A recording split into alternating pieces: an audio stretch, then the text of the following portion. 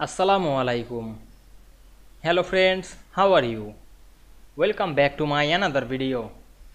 In this video, I am going to show you how to rotate a picture in Microsoft Publisher. Let's get started.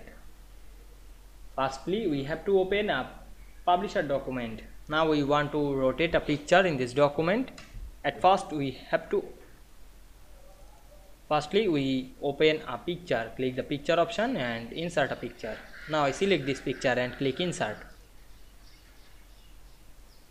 Then click the picture. Go to the picture format menu.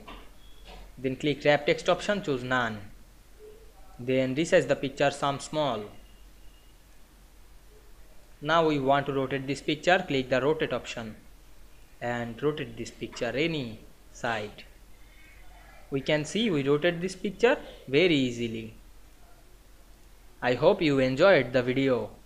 Please like, comment, share and subscribe my channel. Thanks for watching.